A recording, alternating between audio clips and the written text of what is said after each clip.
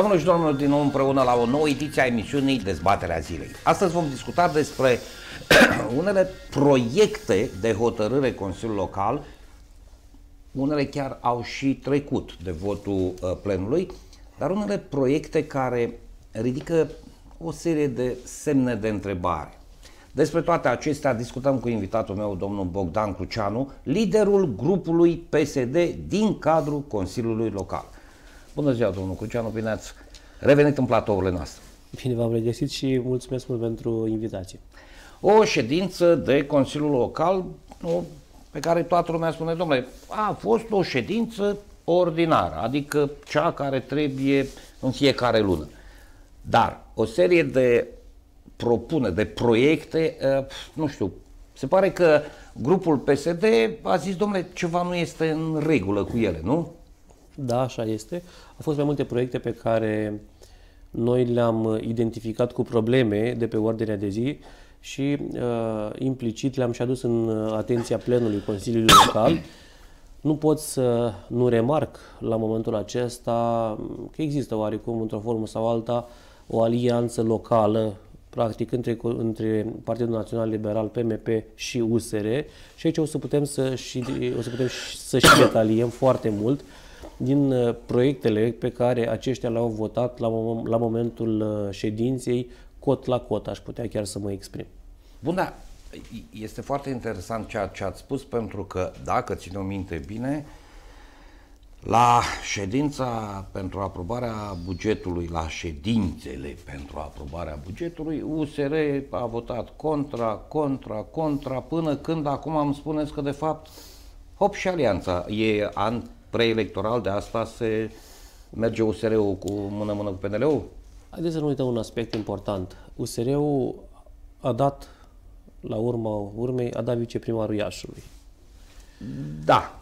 Mm actualul coleg da, este viceprimar din partea partidului da, USR, Uniunea da. Salvați România. Bun.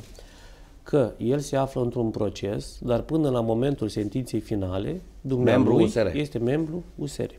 Bun. Mergând mai departe.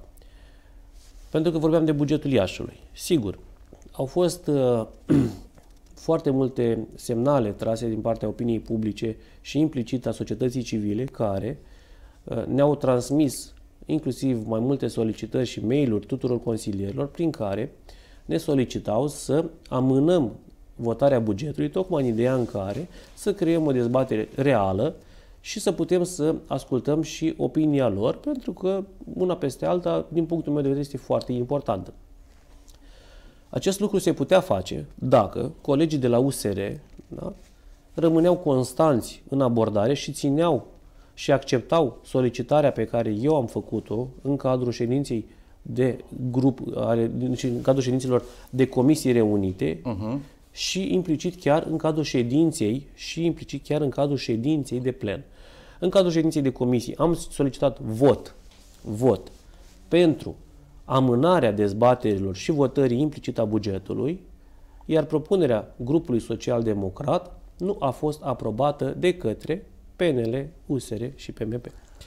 Ah, și atunci când s-a de ajuns aici, în ședință... De aici și până la decizia colegilor de la USR de a nu vota ulterior bugetul, e o întreagă, e o întreagă discuție, aș putea spune poate chiar o demagogie din partea lor. A fost cumva un joc politic, au încercat ei să arate, domnule, ba că suntem de acord, ba că nu suntem de acord. Colegul sau... meu, uh, Mihai Gavril, cred că a punctat chiar foarte bine la un moment dat, pentru că și o să vă povestesc despre aceasta, în sală s-au aflat, aflat, s-au aflat parlamentari de la USR, în speță chiar și doamna Cozet Chichirău, a fost și domnul Hăvărneanu, iar colegul meu Mihai Liviu Gavril foarte bine a punctat la un moment dat când i-a și solicitat să ia cuvântul deputatului Filip Hăvărneanu, pe care l-a și numit uh, aripa PNL din USR. Aha, uh-huh. Da. Pentru că înțeleg că votul din grupul lor a fost dat uh, în cadrul biroului municipal al lor de conducere și acesta și este cel care și conduce, practic, să zic, are majoritate de decizie asupra votului implicit a consilierilor, al consilierilor locali USR. De aici, înțeles. practic, am ajuns în situația respectivă. De asta și spun la momentul acesta, de, aceasta, de asta și spun la momentul acesta, că există o alianță pe plan local. dintre PNL și USR. Mergând mai departe, și de ce spun lucrul ăsta, o să vedeți această abordare a lor, implicit inclusiv în zona planurilor urbanistice zonale ca, pe care le-au votat în cadrul ședinței anterioare. Puzurile, într-adevăr, puzurile sunt unele care ridică o serie de întrebări. Care ar fi aceste proiecte care au ridicat semne de întrebare?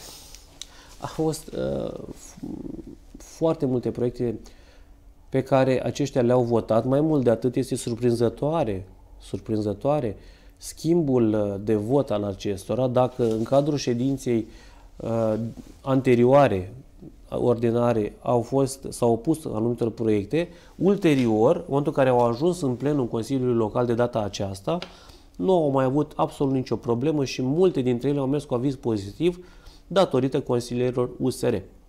Stați o că vreau să vă întreb un lucru. Toate Bun. aceste planuri urbanistice zonale, înainte de a fi supuse votului plenului Consiliul Local. Ele nu se discută în Comisia de Specialitate de Urbanism? Se discută în Comisia de Urbanism, se discută, se discută în Comisia Juridică. Și dacă în Comisia de Urbanism nu primesc vot pozitiv, mai pot fi puse pe masa Consiliului Local? Sigur, da, pentru că la urmă uh, votul din cadrul comisiilor de specialitate este un vot uh, consultativ. Consultativ. Consultativ. Uh-huh.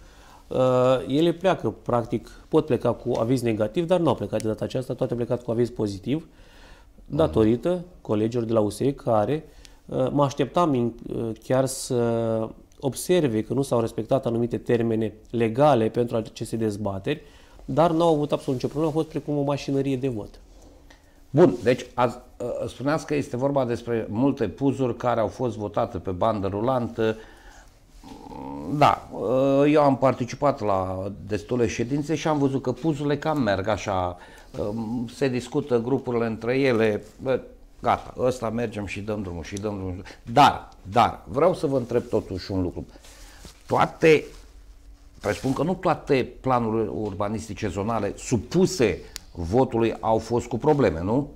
Sub nicio formă, chiar colegii mei din Comisia de Urbanism analizează în detaliu fiecare proiect de hotărâre. Noi de la grupul social-democrat ne întâlnim mereu și discutăm împreună ulterior uh, fiecare proiect în parte și stabilim o strategie Pentru că de dacă vot. ar fi să le uh, să votezi pe contra tuturor, înseamnă că... Dar nu cred că... Noi, la noi nu s-a pus problema uh, în, în cadrul grupului uh, Partidului Social Democrat să votăm uh, absolut toate proiectele împotrivă. Nu. Eu pot înțelege uh, nevoia de dezvoltare, nu sunt împotrivă sub nicio formă și nici grupul Partidului Social nu este împotriva dezvoltării uh, orașului Iași, implicit împotriva investițiilor pe care uh, anumiți, uh, anumiți operatori, anumite, anumite societăți comerciale anumite persoane, sau persoane fizice, da, uh, le urmează să le facă în, în orașul nostru. Bun, și atunci aceste puzuri care ați descoperit că au nereguli sau cum, sau care a fost, sau care sunt motivele pentru care grupul PSD a spus, domnule, cu semne de întrebare. Multe dintre ele, sau multe din probleme pe care noi le-am semnalat, le-am semnalat, au fost date de uh, studiu de trafic. E o problemă pe care colegul meu, uh, da. domnul uh, Ovidiu Laicu, este cel care, să zic, uh, analizează în detaliu aceste planuri urbanistice zonale strict pe zona de trafic și acolo sunt multe dintre ele care, uh, pe care noi le-am semnalat ca fiind, uh, care ar putea crea ulterior serioase embuteiaje în traficul din orașul nostru sau mai mult de atât în zona, în zona în care erau propuse spre dezvoltare. Uh-huh. Dacă o să analizați, vedeți că foarte multe din proiectele pe ordine de zi au, priveau uh, ansambluri de locuințe ce ajungeau uh, locui, uh, clădiri ce ajungeau uh, să aibă și 16 etaje, ceea ce, evident, aju- uh, ulterior ajungeam în zona în care se produceau vrem, nu vrem și uh, creștea și valorile de trafic. Atunci, uh-huh. noi am analizat aceste proiecte dacă uh, sunt sau nu oportune, pentru că noi, ceea ce votăm consilierii locali, votăm oportunitatea respectivului proiect. Corect. Pentru că de partea de legalitate se ocupă executivul. Da? Lor, da. Aici a fost toată discuția noastră. Noi am fi vrut uh, oarecum și o dezbatere mult mai amplă, mult mai detaliată uh-huh. și implicit consultarea vecinilor pe proiectele respective. Uh, de aici au apărut, să zic, uh, semnalele de, la, de noastre de alarmă. A fost chiar un proiect în zona, în zona Păcurari, acolo unde eh, se dorea o extindere. Eh, ulterior, eh, executivul a retras proiectul de pe ordine de zi, tocmai chiar la solicitarea noastră, în urma, în urma venirii chiar a vecinilor în sală, Uh, Eu pot să înțeleg uh, și țin să precizez și acest aspect. Când spun consultarea vecinilor, spun într-o idee de a fi uh, constructivă. Pentru că, sigur, nu putem acum să mergem într-o zonă în care de azi înainte nu mai construim nimic dacă unui vecinii se pare Nu că vrea, da. nu e, ceva nu este în regulă, nici pe departe lucrul acesta, nici pe departe. Dar e important să existe o armonie da, în zonă. Corect, da. Nu, aici aveți perfectă dreptate. Și dacă tot vorbeați de astfel de proiecte care ar aglomera traficul, uh, domnul Cruceanu, ce părere aveți de terenul pus, dacă am înțeles eu bine, pus la dispoziție pentru construcția noului sediu al Operei Naționale din Iași? Și aici fac referire, ca, ca să ne înțelegem, la acel parc de lângă Apa Vital. De fapt, parcul și aparține societății Apa Vital. La momentul de față, e bine că s-a mai identificat un nou, un nou amplasament. Din punct de vedere urbanistic, e clar că acolo vorbim de uh, necesitatea unui studiu mult mai detaliat, să vedem dacă chiar se poate construi. Din punct de vedere al amplasamentului, mult mai bun amplasament era cel pe care chiar și uh, ministrul uh, culturii, domnul Lucian Romașcanu, l-a indicat, cel de la școala, școala Pavelcu, dat fiind că puteam avea, sau putem în continuare avea, că nu cred că discuțiile sunt închise, o zonă centrală din punct culturală foarte bine accentuată. Aveam Teatrul Național, Da. aveam Filarmonica, Da. am fi avut opera, în continuare, bineînțeles, cu o deschidere ulterioară către uh, Bulevardul Ștefan cel Mare și Sfânt, puteam merge prin zona pietonală până în fața Palatului Culturii, dat fiind, dat fiind că există acea discuție de a se face acel uh, pasaj subteran în fața Palatului Culturii, Pentru pietoni, ca să nu mai pentru fie tot ceea ce probleme. înseamnă parte de trafic, astfel încât, practic, puteam prelungi inclusiv zona pietonală. Aceasta mi se pare, uh, sau în opinia mea, și cred că și a colegilor mei, cea mai corectă soluție.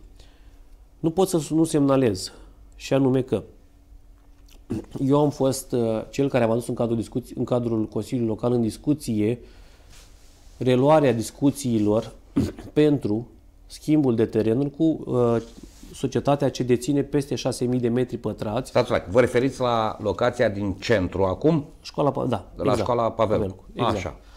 Eu am fost cel care am adus în discuție în cadrul ședinței de Consiliul Local uh, efectuarea, necesitatea efectuării acestui schimb, lucru pe care l-am făcut, dacă nu greșesc, în luna iulie sau chiar iunie 2022.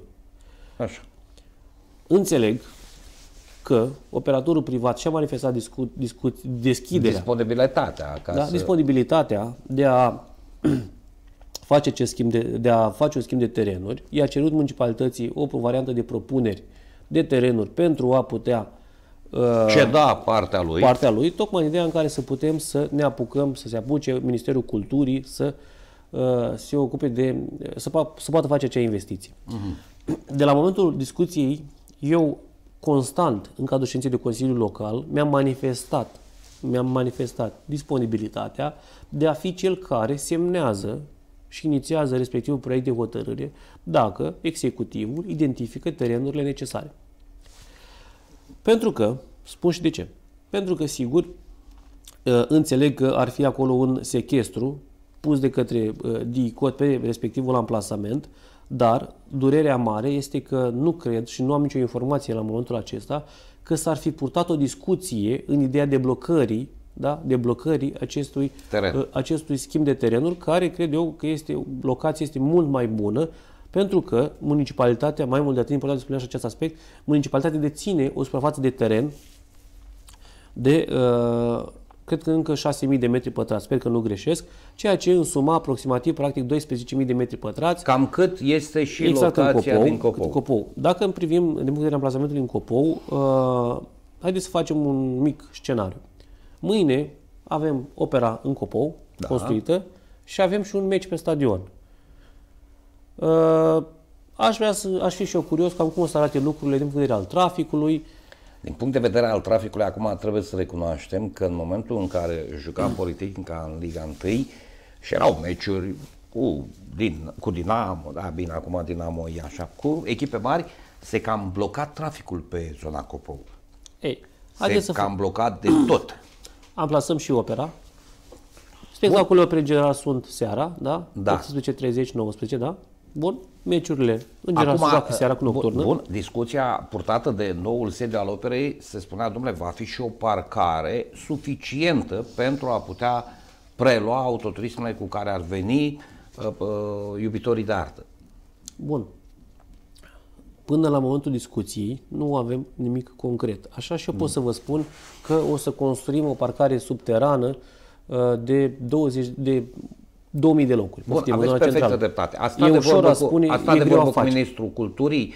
S-a, s-a, s-a trimis către Ministerul Culturii vreo adresă, domnule, noi am municipalitatea, noi am identificat un teren.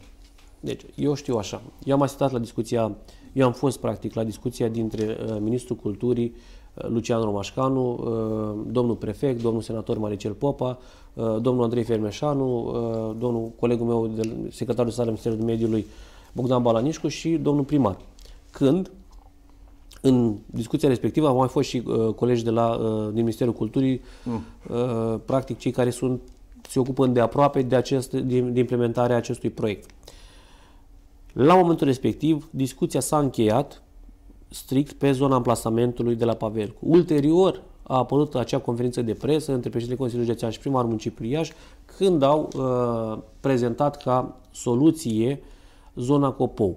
Dar, atenție, uh, ceea ce este important de subliniat e că uh, a, ampla- a preda un amplasament sau a identifica un amplasament care, repet, nu știm exact dacă poate fi construit pe el sau Da. nu, nu știm ce se află, care sunt, să zic, nu avem un studiu de trafic, nu știm nimic ce va fi acolo. E doar un aplasament care, evident, decât nimic, clar, mai bine acela, decât nimic, clar, măcar știm Da. că luăm banii, sunt, să nu uităm, avem 15 milioane de euro deja puși deoparte în, în, în bugetul Ministerului Culturii, tocmai de a de a Pentru demara lucrările sediu, așa. pentru a demara lucrările pentru sediul Operei Naționale Române din Iași. Sigur, foarte multă lume are să înceapă discuțiile, bun, dar ce facem după aceea? Vă spun eu cu siguranță, odată pornit acest proiect, nu se mai, indiferent de ministru care va veni, nu o să mai oprească Până uh, nu se finalizează. Până se va finaliza, pentru Corect. că aici e chestiune, bun, mai mult de atât, cred că ține foarte mult și de ce ne dorim noi uh, să facem uh, pentru Bun, această acum, valoroasă instituție. Suntem la, la finalul emisiunii. Vreau, vreau să vă întreb,